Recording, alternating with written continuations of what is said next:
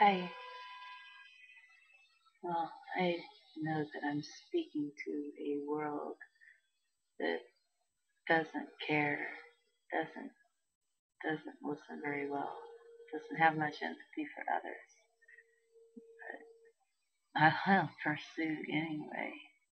I'll walk on. So yeah, I had I had a rant earlier. Well, I'm rant, but no rant, huge rant. Like I don't even know what's in me yet. It's it's definitely one one convection. So anyway, I called my mom. She's always there.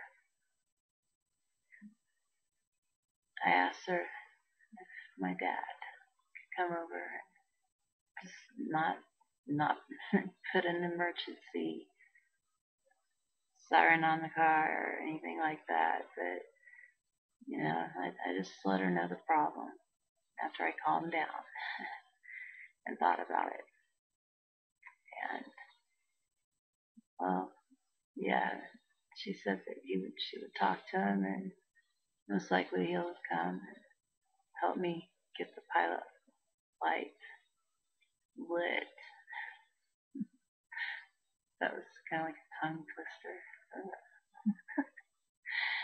but, you know, I, I need to remember to cling to my faith and to know that it's going to be okay. But who the problem is, is I'm stuck in a Herx.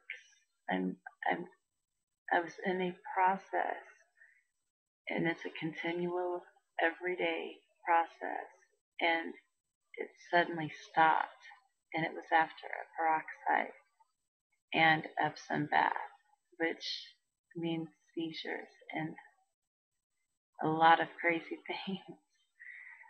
So also my circulation is doing the weirdest things like Raynaud's syndrome, except it also involves my whole body. It is weird. I I go my body temperature it just goes dead like a dead person. Like it's beyond cold. And my Raynaud's um but it's it's not just in my fingers and my feet. Not just in my toes. It's everywhere. And um, that means I need I need warm water now. It's an emergency. So that's why that's why I freaked out. That's one of the reasons, just one of the reasons why I freaked out the way I did. Because I know what can happen in the blink of an eye. I know that things can just suddenly change and well I I've got to stay ahead with the detox or if I slip back it, I might as well start all over. and I work so hard to stay ahead and to be smart and to outsmart these things inside me. and you know that that might never happen, but it it has made me feel better, and I know what it's done for me. I know I know darn well what it's done for me. So if that process is interrupted, oh man, that could that could send me into the emergency room. And man, I don't want to be there. I don't want to have to go to the hospital just because I don't have access to warm water. Now, if I would have known, this is, I mean, remember that this, this happened as soon as I woke up. So there was no warning. If I would have known previously, I would have boiled, boiled up some water and I would have had some warm water ready for them to clean at least, you know, the the important parts. we all need to clean every day. Um, but there was there was no time for it. There was no warning. It, I was stuck, and it felt like I was chained up in every way possible, in every single way. And that is a bad feeling to just be trapped. And it's always, that's for me, that is a continual feeling every day. I am so trapped that you really feel trapped when you when I run out of Epsom. Oh my gosh, uh, that's that's an emergency. It's I gotta have it. If not, it's gonna cost more money. It's gonna send me to the hospital with people who do not understand. They want no part of it. They can't have any part of it. They've signed contracts that, that they were given a choice, and it was maybe back in 2010.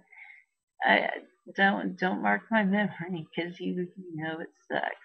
But um, they they had a contract that they had to sign, and well, the majority of the doctors they signed the contract, and they have to work for the IDSA. They have to follow their rules, and uh, that's why we need to go to LLMDs in the first place, as you must know already. So, yeah, just just knowing that that my dad is coming over.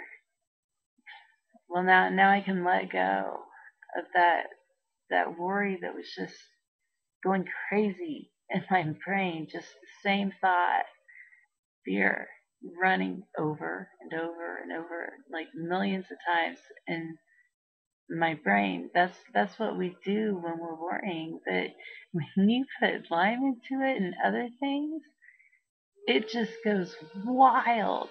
It's just it goes wild. It is not natural.